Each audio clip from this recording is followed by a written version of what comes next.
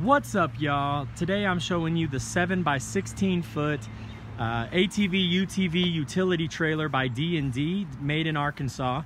Um, right off the bat you got radial tires, two 3,500 pound Dexter axles here. Those have a five year warranty on those Dexter axles giving you 7,000 pounds total minus the weight of the trailer gonna, gonna give you about 5,000 pounds of actual towing capacity.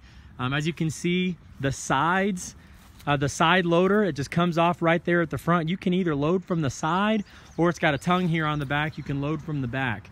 Very awesome. It's treated wood. These LED lights are protected by the frame. This is a very nice trailer at a very affordable price. Stake pockets are welded in on the side. Um, come see us and ask for Josh or Bob. We'd love to show you this trailer.